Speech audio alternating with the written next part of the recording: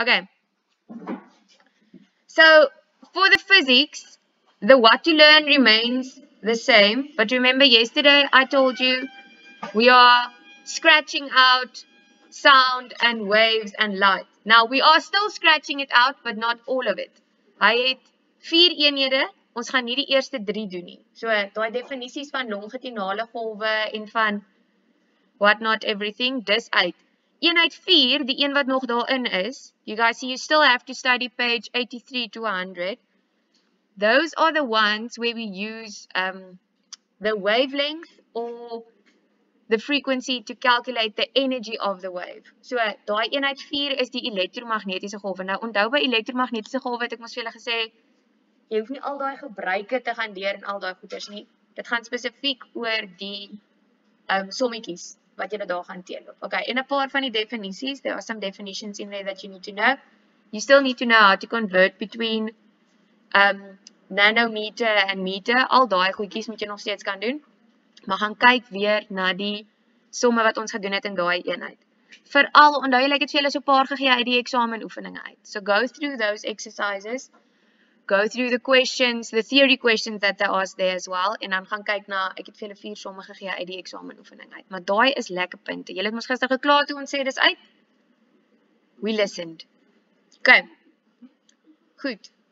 Ehm um, is julle almal reg? Almal on top of wat aangaan by die fisika? OK, geen vrae daar nie. Dan by die chemie los die volgende goed uit. Bladsy 83 tot 85. When you guys are going through your chemistry, you'll see those are pages of the history of the um cell.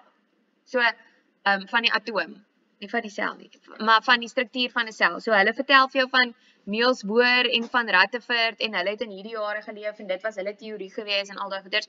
This is not a history class. You don't have to study those. In fact, we didn't do them in class. Ek het vir julle in die klas gesê ons gaan nie hierdie vra nie. Ek wil net hê julle moet nou deur julle boeke gaan en dan dink ons het nooit hierdie gedoen nie. Ek kan net nie onthou nie en dan paniek julle. Okay, so los daai bladsy uit. Dan die ander ding is periodisiteit. So on your what to learn, I said unit 4 is included included, but then I said in brackets only the parts we did in class. Want ons het nie al die trends of the periodic table gedoen nie. Ons het net van hulle gedoen.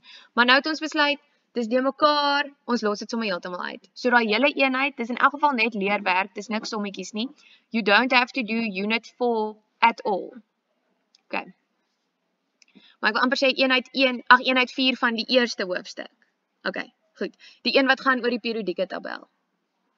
Yes. Ek sê dis op die um what to learn die eerste bullet Ja, sien jy daar staan eenheid 1 2 3 en dan staan daar by 4 in hakkies um net die dele wat ons in die klas gedoen het, krap daai hele ding uit. Ons doen nie meer eenheid 4 nie.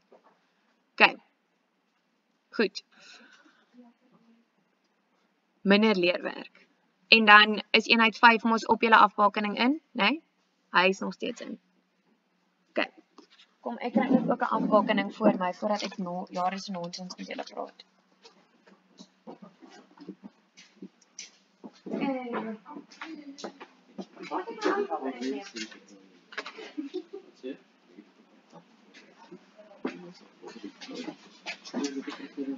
Maar ek gaan nonsens met julle praat. OK. Goed, en dan by Okay, so dit is eintlik al wat verander by die chemie. Net 'n vinnige side note op die polyatomiese ione. So those are um those tables on page 19, 20 and 21 wat ons heel in die eerste kwartaal gedoen het wat so baie leerwerk is dat jy amper begin huil het. Onthou julle toe in kwartaal 1 het ek dit vir julle afgebaken. Ek het vir julle so 'n tabelletjie gestuur op julle WhatsApp groep. I resent it this morning of the ones that you actually do need to study. So don't just go through those and study all three tables all of them. As jy jou selfoon by jou het, haal hom gou uit, dan gaan ek net gou saam met julle deur daai tabel gaan. Julle sal sien ek het hom ver oggend gepost. Okay, so what you do is the first heading is the anions, die anione. Daai tabel is op bladsy 19.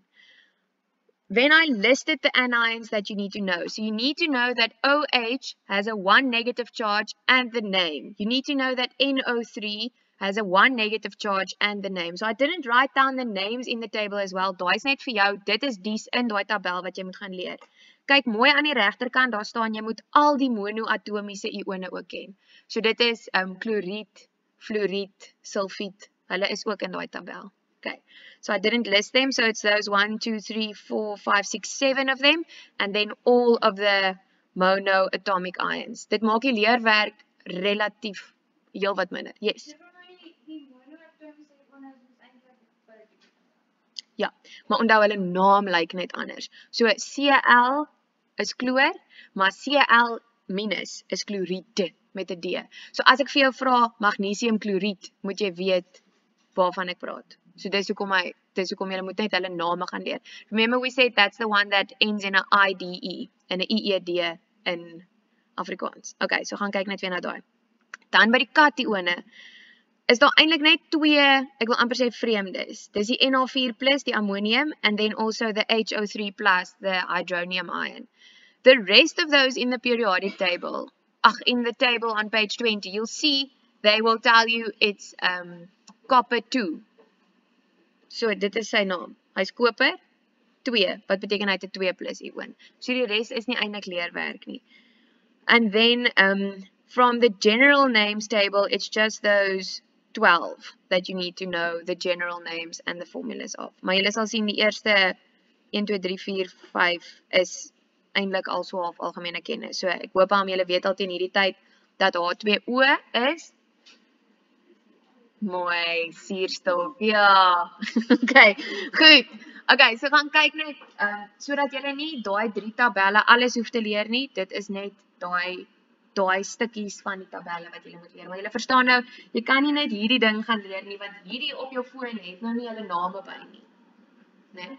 So you can't just study this. This is what you use to highlight what you study in your in your chemistry book. Okay, is daar enige vrae oor die afbakening?